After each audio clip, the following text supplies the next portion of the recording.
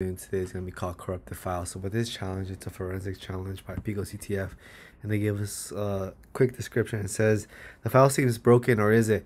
Maybe a couple of bytes can make all the difference. Can't figure out how to bring back the file. It says download the file here, and we we have three hints for us. We have try checking the file header, JPEG, and tools like XXD or hex stuff can help you inspect and edit file bytes. So if we download the file here and then look up uh, hex editor online, we come to this tool, hex edit. And from right here, we could just simply open a file and the file we're to open is the one that we have. And we see the hex values of the JPEG. So how do we know? I guess this is something you have to Google on your own is look up the values, the hex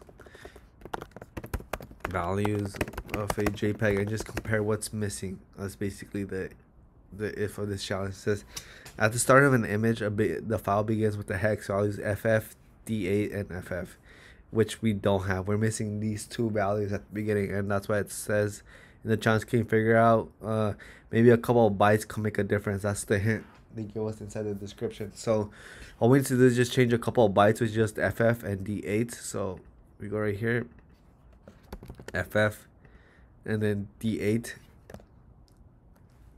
D8, and then we have FF, D8, and FF.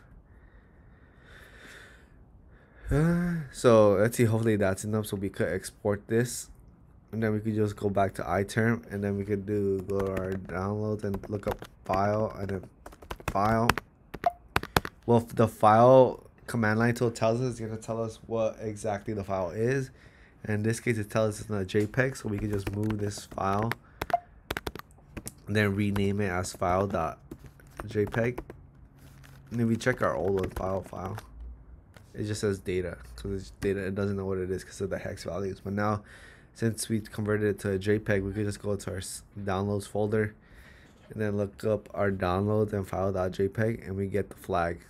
So simply from right here, all we need to do, I'll just simply copy paste it. We love Mac for this. And then we just paste it. Hopefully that does it. It got everything. Pico CTF. Hopefully, and then we submit it.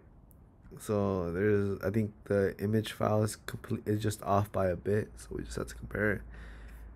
Uh, Pico CTF R3 ST0R1 NG underscore TH3 underscore by BY 73S underscore 31 CC795D. Wait, that's PICO then CTA. Oh, curly brace.